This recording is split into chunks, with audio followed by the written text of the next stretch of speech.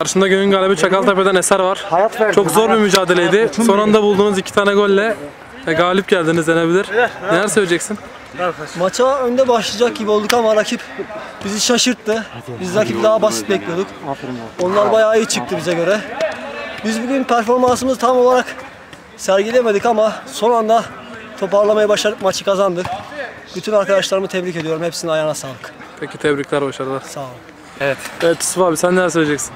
Şimdi biz takım olarak aslında iyi top oynadığımızı düşünüyorduk ama bugün rakibin e, istatistikleri bizi biraz yanılttı açıkçası. Biz onların biraz daha zayıf olduğunu düşünüyorduk açıkçası. Onlar çok daha iyi çıktı. Ben hepsini tebrik ediyorum.